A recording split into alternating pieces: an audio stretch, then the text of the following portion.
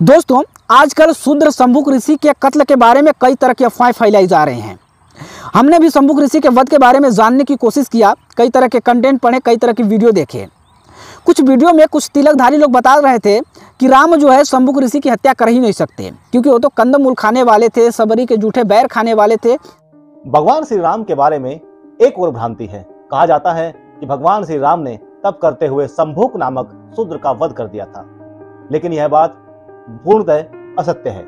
भला, राम शंभुक ऋषि की हत्या कैसे कर सकते हैं? एक ने बताया कि यदि राम को शंभुक की हत्या करनी थी तो उनके पास बहुत सारे सैनिक थे, जाकर कर देते। राम ने ही क्यों किया? ये सब अफवाह है।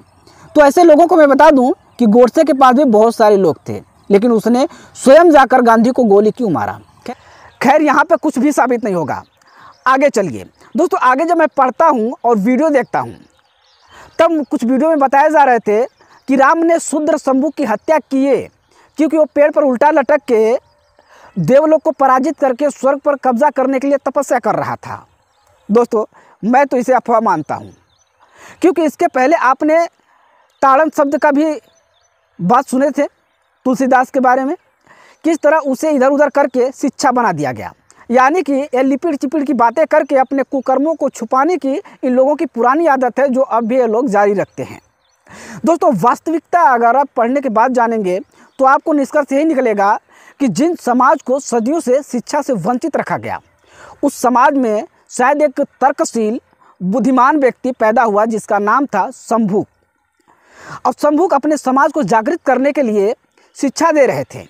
उन्होंने कहा कि ये जो आकाश है, ये जो प्रकाश है, ये जो हवाएँ हैं, ये जो पानी है ये हम लोगों में भेद नहीं कर रहा है। यदि भेद करता तो ये उन्हीं को मिलता जो लोग खुद को शुद्ध समझते हैं।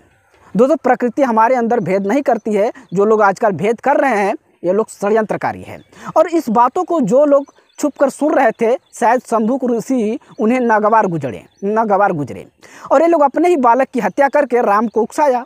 और राम ने सोचा कि भाई, एक कौन सा शूद्र है जिसकी शक्ति से, जिसकी तपस्या से एक बालक ब्राह्मण की अल्पायु में ही मृत्यु हो गई। इसे तो मैं स्वयं देखने जाऊँगा और इस, और इसका हत्या भी मैं स्वयं करूँगा।